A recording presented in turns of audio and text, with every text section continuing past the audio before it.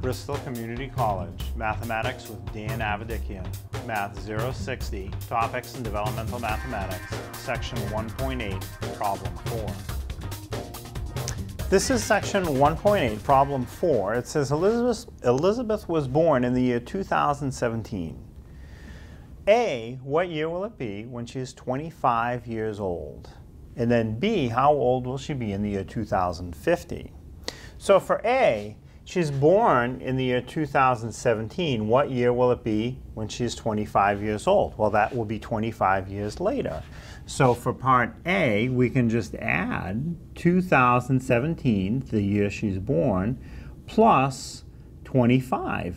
25 years later, she'll be 25 years old. What year will it be? So if I add, I start in the far right column. 7 plus 5 is 12. I put the 2 from the 12 below that column and carry the 1 from the 12 over to the next column over to the left. And then I will add 1 plus 1 plus 2.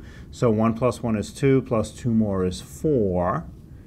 And then I have 0 plus nothing underneath it is 0. And then I have 2 plus nothing underneath it is 2. So the answer is 2042. She'll be 25 years old in the year 2042. That's the answer to part A. Now for B, how old will she be in the year 2050? Well, how many years are in between 2017 and 2050? To figure that out, we can just subtract 2050 minus 2017. So, as I start the subtraction in the far right column, I want to subtract 0 minus 7. Well, the 0 is not big enough to subtract 7 from. So I will borrow. I'll go over one column to the left. I find a, a 5 in the top of that column. I'll cross it off reduce it by 1 down to a 4, and that will allow me to change the 0 in the far right column from a 0 into a 10.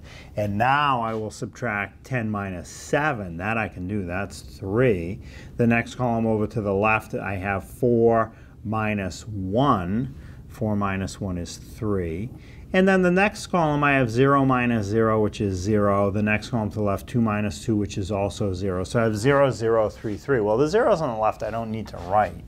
So I can just say that the answer is 33. So how old will Elizabeth be in the year 2050? She will be 33 years old. And I got that from subtracting the two years, 2050 minus 2017.